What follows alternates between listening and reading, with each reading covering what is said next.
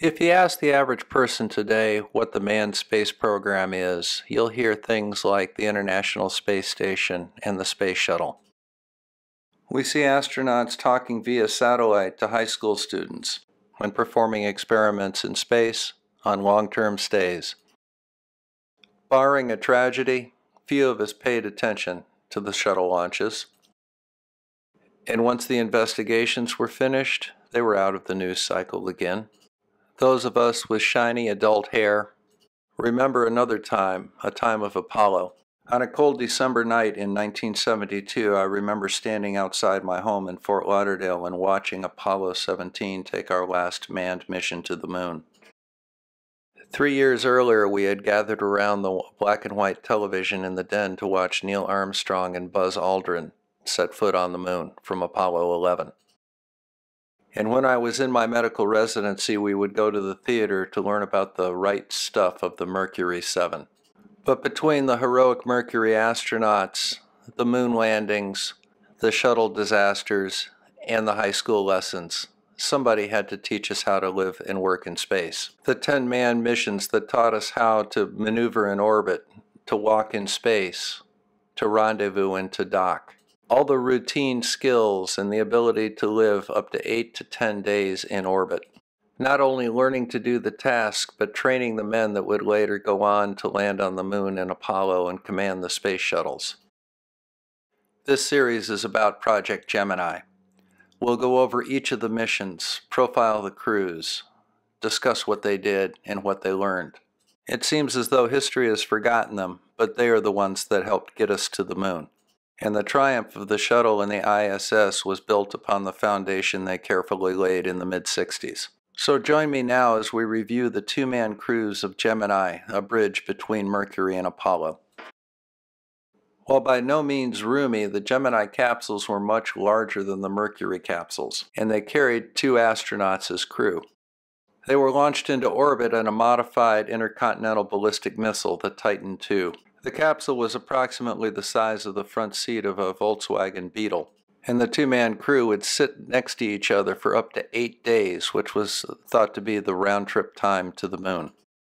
Gemini 1 was a test launch on April 8, 1964. Carrying only instruments, it was designed to see if the spacecraft and rocket would survive the trip to orbit. While three orbits were planned, it lasted for 64, Holes had been drilled in its heat shield to make sure it did not survive the reentry. Gemini 2 was launched in January of 1965. It was a suborbital flight designed to test the heat shield. It was picked up, refurbished, and reused, the first reused spacecraft until the shuttle program. This is the Manned Orbital Laboratory, a proposed military satellite used for reconnaissance purposes. Gemini 2 was reused uh, to test this system early on before it was canceled in the late 60s. The first manned mission of Project Gemini was Gemini 3. Launched on the 23rd of March 1965, the Gemini 3 capsule made three orbits of the Earth. Unlike the Mercury capsule, the Gemini capsules were designed to maneuver in space and change their orbit in preparation for future rendezvous. Following completion of the first orbit, the rockets were fired and the orbit was changed slightly. This was the first successful orbital change by a manned spacecraft. Gemini pilot astronaut John Young had a remarkable 42-year career with NASA. He flew six missions on four different types of spacecraft and is only one of three people that have been to the moon twice. The mission commander was Virgil Gus Grissom, one of the original Mercury astronauts. Gus Grissom was the second American in space aboard Liberty Bell 7 in Project Mercury. Liberty Bell 7 sank shortly after landing when the explosive bolts in the hatches prematurely detonated. It was Grissom that named Gemini 3 the Molly Brown in reference to the unsinkable Molly Brown of Titanic fame. An inquiry following the loss of the spacecraft cleared Grissom of any wrongdoing, but resulted in the removal of the explosive bolts from the hatches. This would later have tragic consequences for Grissom. Gemini 3 was documented on film. Here's the original footage from the launch and the orbital insertion animation.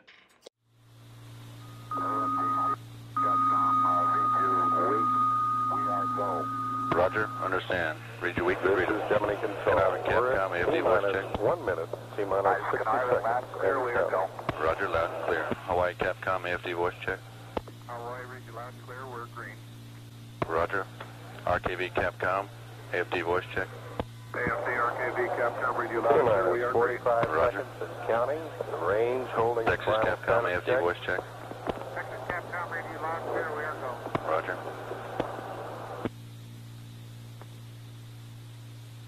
T minus 30 seconds. Recorders have gone to fast speed. 20 seconds. 20 seconds. 15 seconds. 10, 9, 8, 7, 6, 5, 4, 3, 2, 1, 0. 0. Ignition. Bolts And we have a liftoff. Liftoff, one four two four We zero have a zero liftoff one four at two four 24 zero minutes zero after the liftoff. hour. There's the roll program. All right, Roger, roll. Flight ten seconds.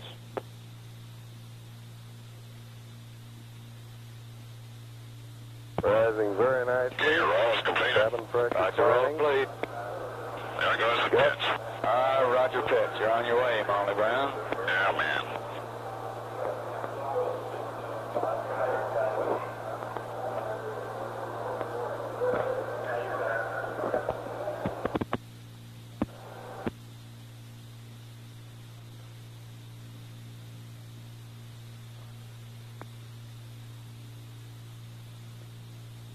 Last 50 seconds.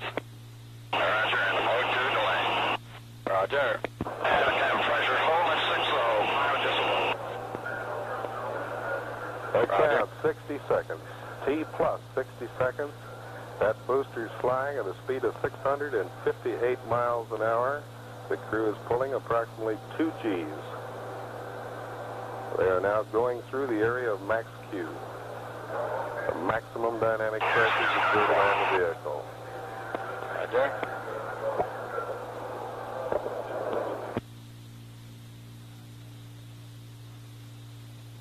Pressure relieving at 6.5.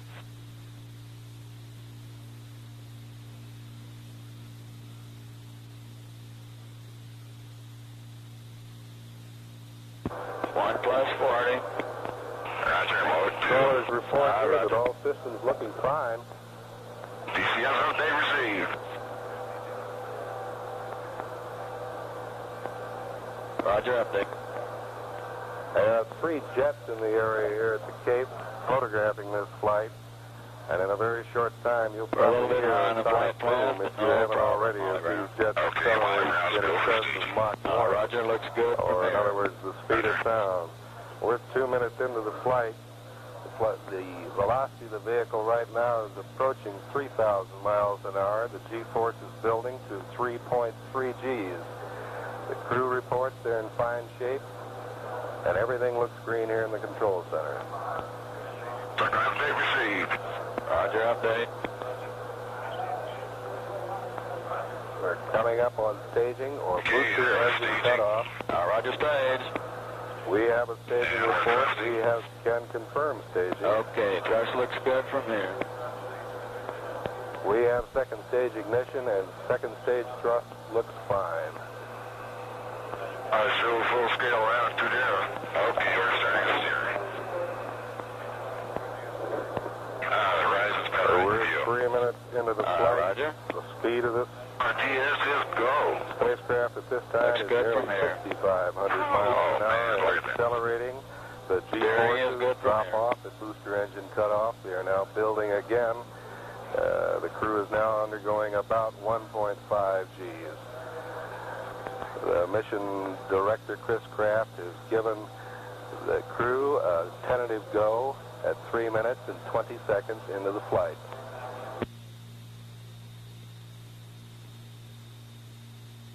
Hey, we're moving right along that horizon. Uh, Roger.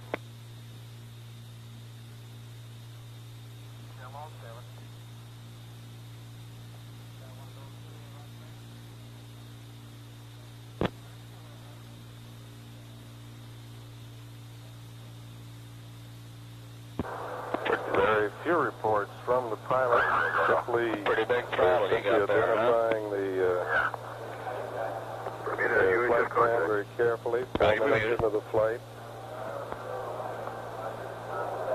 Gordon Cooper just uh, just told Grissom that he's looking mighty good, and Gus gave him a very reassuring laugh. A very calm pilot in command of that spacecraft. Roger, Molly Brown, your go from here.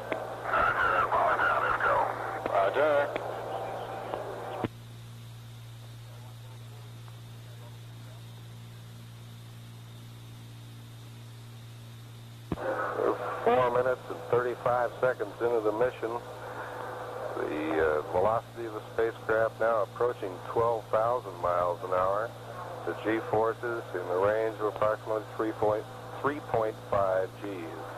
Steering right Flight down Dynamics the line. Officer reports excellent steering on this vehicle. We remain in the primary guidance phase all the way.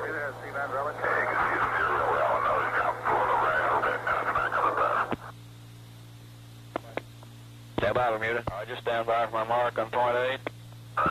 We're getting a little bit of distortion Mark on Tony point eight. Grissom's reports.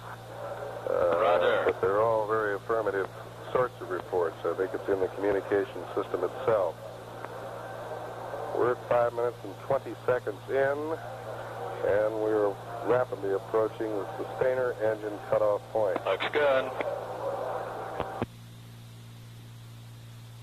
We're 10 seconds from SECO, or sustainer engine second stage cutoff. Roger, showing good one there. Going to Bermuda.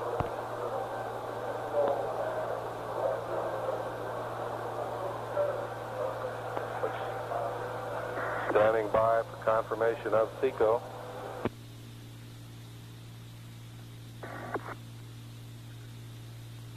Roger, you are go, Molly Brown.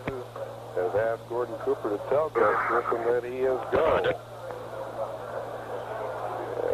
And Molly Brown reports it's very happy about that go. Unlike the Mercury capsule, which was all inclusive, the Gemini had two parts to it. The black part is the spacecraft in the crew compartment.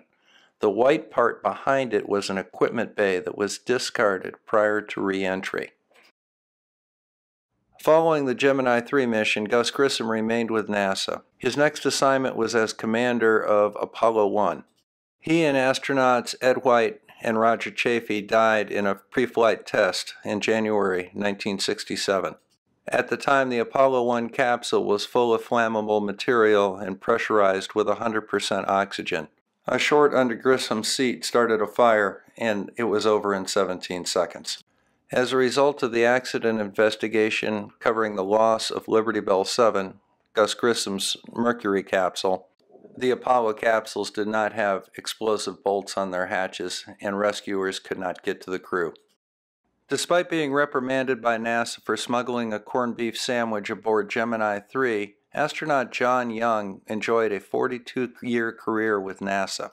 He was the commander of Gemini 10 and the command module pilot for Apollo 10. He was the first human to fly solo around the moon. Later went on to command Apollo 16 and landed on the moon. Perhaps he is best known from that mission for jumping in the air while saluting the flag on the surface.